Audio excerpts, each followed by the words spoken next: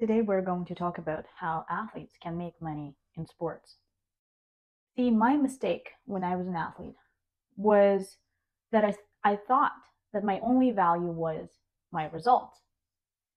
I didn't see the value in my looks, in my intelligence, in my communication, in knowing multiple languages and being able to communicate with journalists and give interviews internationally.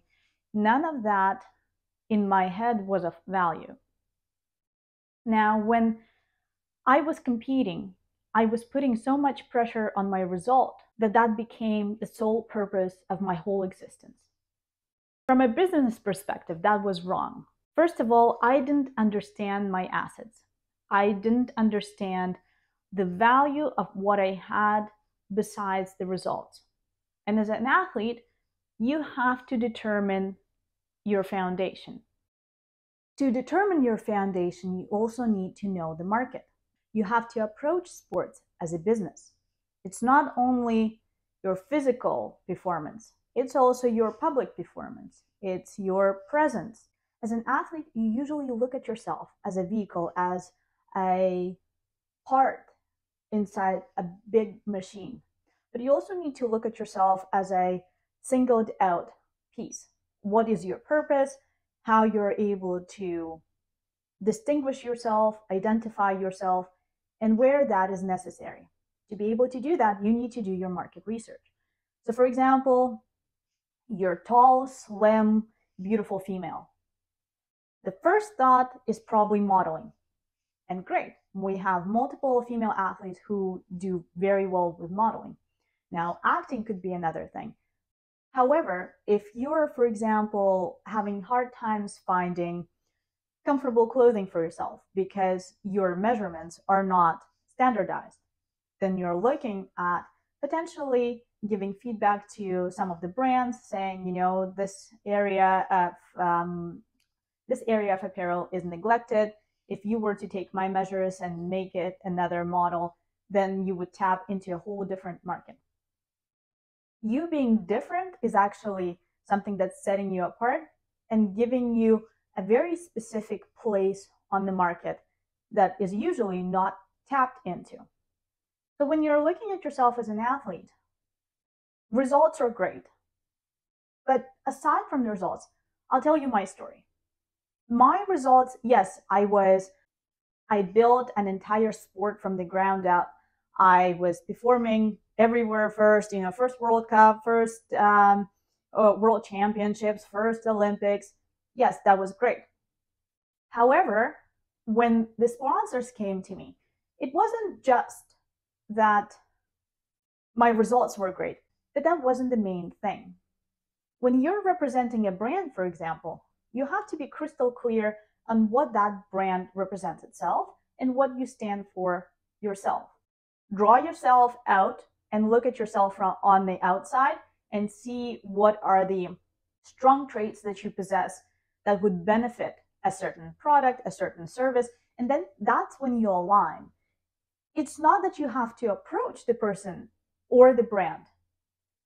First, you have to distinguish and be very clear on what you represent, how people perceive you, what is the character you're portraying or being yourself, all of these things matter because as an archetype, for example, you're going to see that a lot of the brands are very far away from you.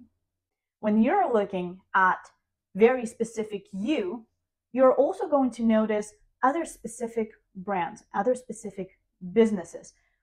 It doesn't mean that you have to mold yourself to fit a certain brand just because the public says, oh, they're trendy or, uh, or wow, they're super luxurious or wow, they're the best on the market. That is an incorrect way of approaching yourself and when you're trying to align with, with a brand. You figure out the shape of yourself first, and then you're looking outward to see where you're actually contributing. If you're really good at technical stuff, but really don't like to be in public, being a media personality, that doesn't mean that you can't make a great living for yourself. Another question to ask is Is this the way I want to be living my life? Because a lot of the times people look at the dollar amount money amount, how much are they going to make when they're choosing a job or a profession? Few people ask themselves if this is the life they want to be living. I'll give you another example. I originally, after the Olympics, wanted to become a lawyer. And I already went through the LSAT, I already submitted documents and had invitation from a few schools. But my last step was to actually go into a law office and see if the lifestyle that they were leading was what I wanted to be doing, if not for the rest of my life, but for a big portion of my life. And so I scheduled meetings with lawyers and they showed up at their offices. And then I was honest with them and they said, hey, look, I'm not here to inquire about your services, but I'm considering becoming a lawyer. Could you please share your experience with me? So when they did, I realized that that wasn't the life I wanted. There were multiple hours sitting down. Uh, there were there were litigations that could last for years and have no conclusion. There were multiple things that didn't fit the way I wanted to live my life because the way I approach any profession, any business, is that it's such a large portion of our life that if I am going to be miserable in that time, the rest of my life, even though it, it's beautiful and maybe exciting, is not going to make sense.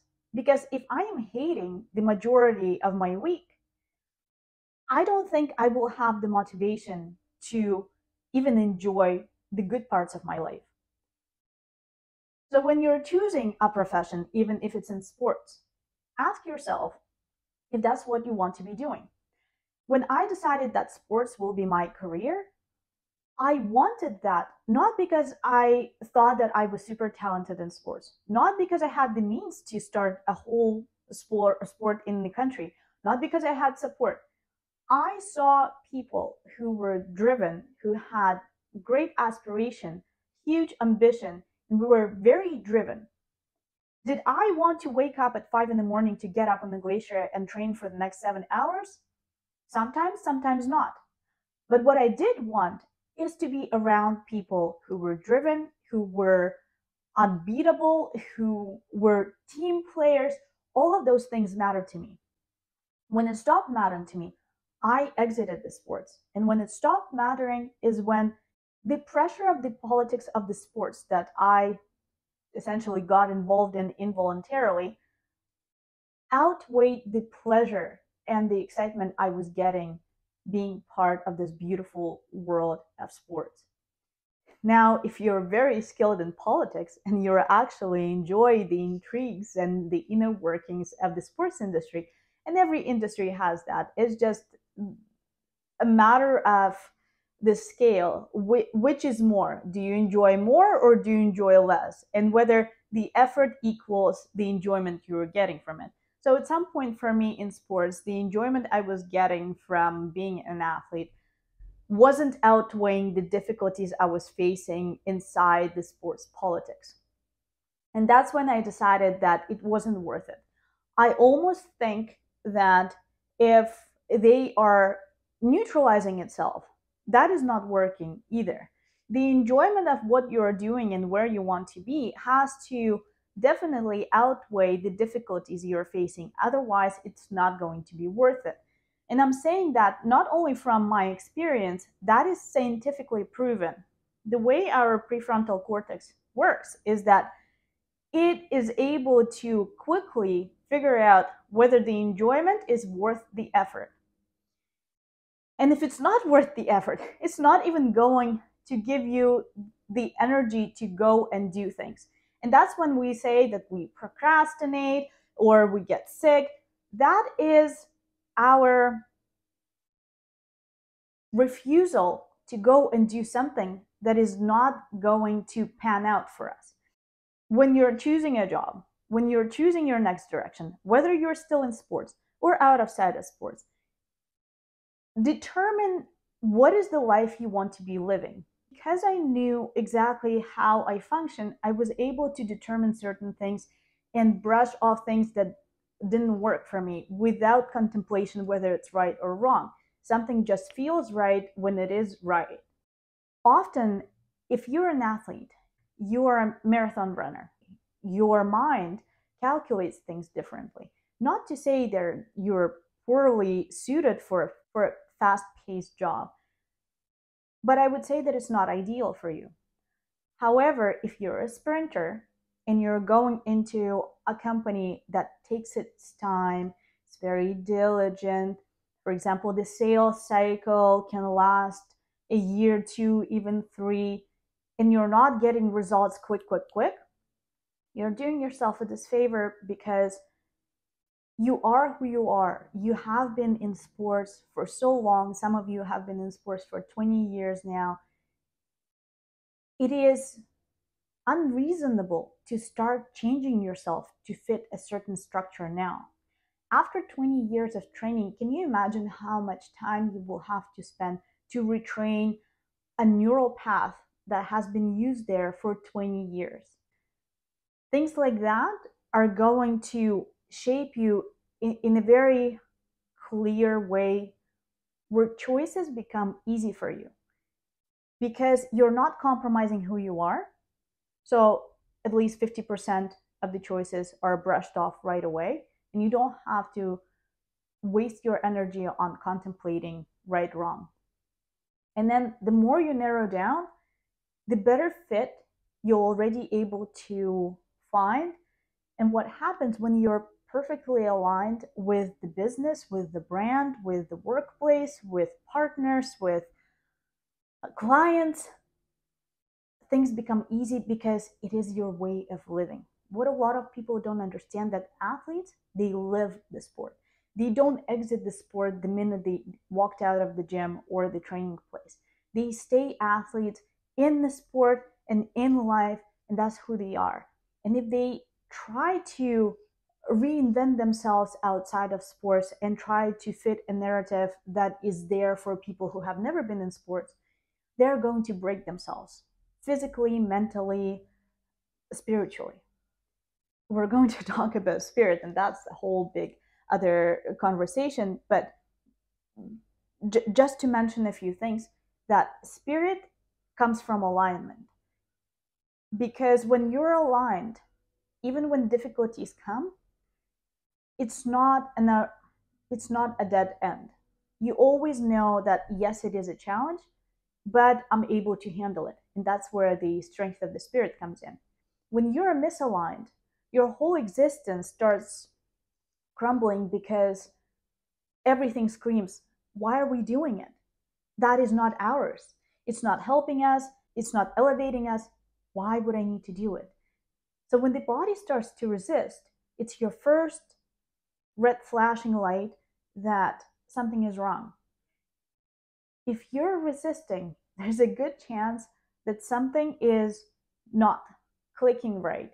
And once you find that out, you're able to move forward without having to overcome things. When the challenge comes and you're aligned, you're working through it, it expands you. You become bigger, you become stronger, more confident. When you have to overcome things, that's when the block is here saying, don't go there go different direction. But a lot of people try to get through the wall or they try to get over themselves. You know, they'll go and do the psilocybin, ayahuasca, uh, you know, all sorts of meditations. Well, what is there? The uh, frog, the frog poison. I forget what it's called. Don't get over it. Pivot, and and find the way where it's so you that even when it's hard, it still feels right. Early in your career, early in your retirement after sports is going to serve you for the rest of your life. Because when you overcome things, then at some point in life, you have to get back and finally take the right turn. When you're seeing the blog and you're not trying to overcome it, you're working with where it's flowing, then that's the skill that you will always have to guide you in any difficult situation with the confidence that you've got it. Let me know in comments if that made sense, how it resonated or didn't with you, and I'll try to address through your comments a deeper understanding of where you're struggling to either agree with who you are and how you're functioning or how to navigate the confusion because a lot of the times we get confused by society, by social media, by something we've been told as we were growing up, and even cultural differences. So I want to address those, but I won't know about them if you don't let me know. So please do, and we'll talk next time.